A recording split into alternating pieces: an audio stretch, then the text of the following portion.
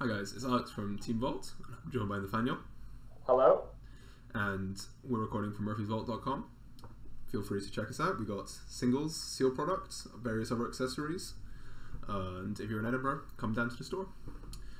So today we're playing some modern. Uh, we've got some Grixis Death Shadow here. As we're recording this, Ixalan has not yet been released, but the way due to the way Magic, on, Magic Online works, it is legal. So I mean, works is a strong word.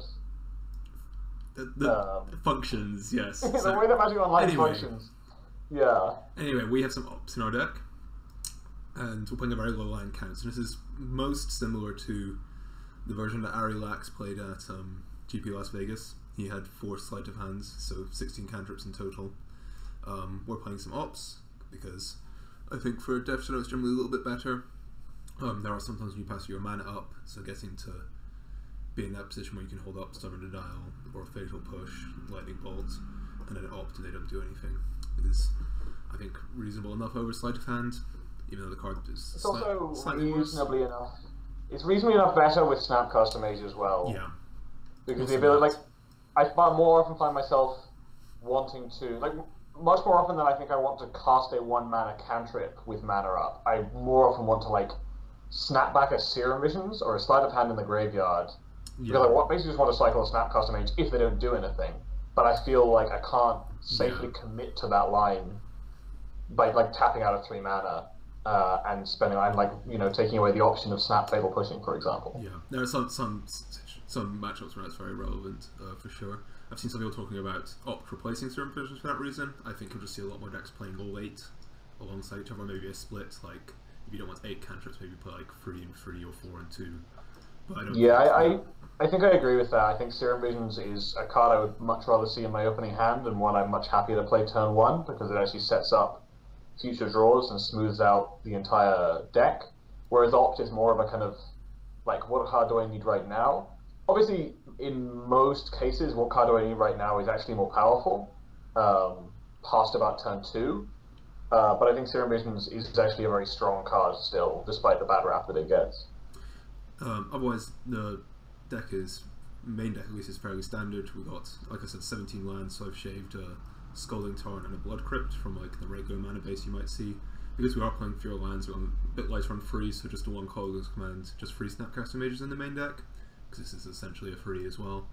Um, other than that, we've got our eight, uh, sorry, four Delve creatures, four Death Shadows, um, the additional cantrips alongside the ops, we've got Serum Visions, Thought Scours, Street Wraiths, got some removal spells. We've got dismembers, um, which I'm a big fan of. Um, you see a lot of people playing Terminate. I personally find that the games, there's a number of games that dismember like wins you in a game because it's like insane pump spell for you're Death Shadow. But It's the, it's the world's biggest searing blaze. It's where you get to go, oh, kill your Yeah. Tarmogoyf and swing for nine, and they're like, oh, what? I thought your t- I thought your Death Shadow was a five five, and my Tarmogoyf was alive.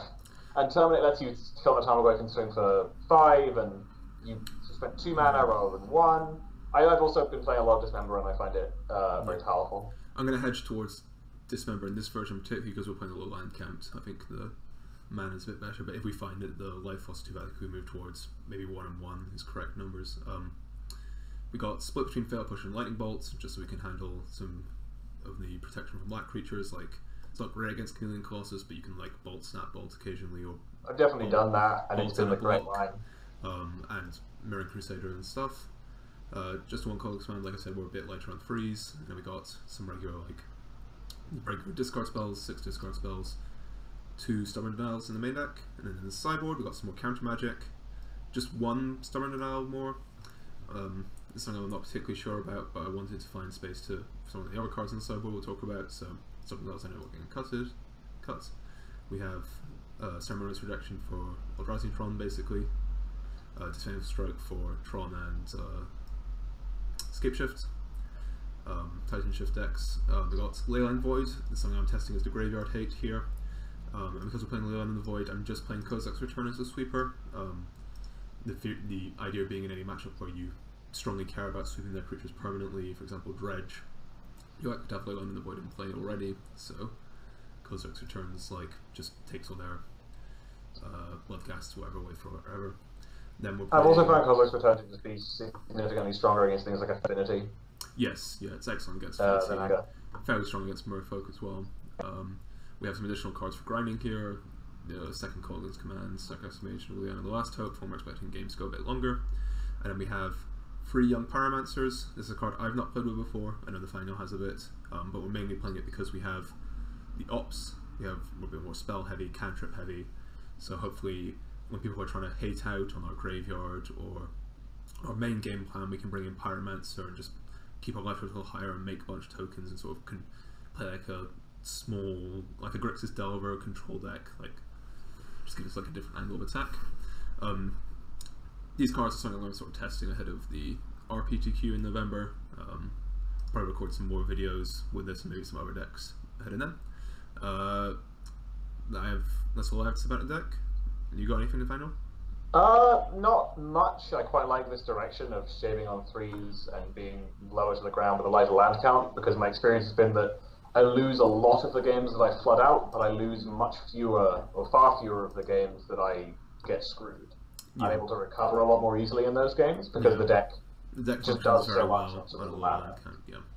Um, Uh, Young Pyromancer is a card I'm really interested in exploring more. It mainly the thing I liked about it um, was that it felt like I just had a good sideboard plan for lots of matchups. Um, Mhm. Whereas before, lots of other options I've had for trying to play grindy games, I just didn't feel like my sideboard plan was like coherent. yeah. Um, whereas Young Pyromancer really felt like it tied together a bunch of disparate uh, ideas and allowed me to play a bit differently post board when I wanted to, which was very helpful. Yeah. Actually, yeah, the main concerns I have about it going in is I don't think it plays well with Kozilek's Return, and that's potentially fine. But there's some decks I think where you want to board in, you're worried they're going to hate out your main game plan, and you want the sweeper, and obviously then like Young Pyromancer and Kozilek's Return's a nombo. Yeah, I definitely agree there. It also requires to play well. You sort of have to have cards in your hand. So I think in this fi- version, it's fine because we're not playing Liliana of the Veil. Um, so hopefully we can just like sandbag our Inquisitions or cantrips later, or maybe not cantrips because we want to cast them to find something, but we can sign by like a dead Inquisition, or whatever, play a Pyromancer and try and get a token off it straight away. Yeah, it does definitely. So some of the games I played with it did require me to make slightly different sequencing lines, Mhm. um, but I found it to be very strong as a uh, an additional threat to bring in against control decks and combo decks. Um, when I wanted to be cutting removal spells, for example, uh, and I felt like I wanted to bring in more ways to just like pressure them and make them have to react to me. Um, and Young Pyromancer let me do that, where often I find the Lilianas, either of them is less effective at that sort of thing in this sort of combo and um, control matchups. Uh, Veil is obviously great in those scenarios, but I think generally is slightly worse with the rest of the deck. Um, Yeah.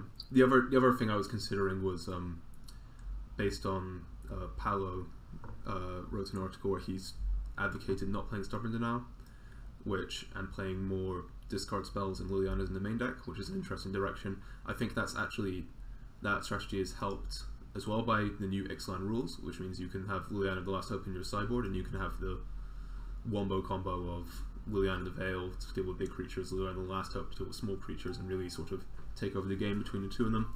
Uh, so that's something we might try in a future video. Uh, think that's it for now. We'll see you in round one.